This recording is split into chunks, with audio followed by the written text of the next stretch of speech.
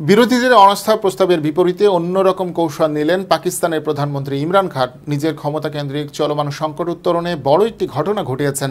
পাঞ্জাব প্রদেশে নিজের দলের বর্তমান মুখ্যমন্ত্রীর বদলে নতুন মুখ্যমন্ত্রী মনোনীত করেছেন পিএমএল কিউ নেতা পারভেজ এলাহিকে।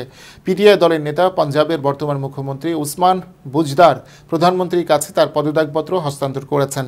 প্রধানমন্ত্রী ইমরান খান এবং পারভেজ এলাহির মধ্যে সফল আলোচনার পর এই পরিবর্তন আনেন তিনি। দেশটির তথ্য ও সম্প্রচার প্রতিমন্ত্রী ফারুক হাবিব সোমবার এ তথ্য জানিয়েছেন।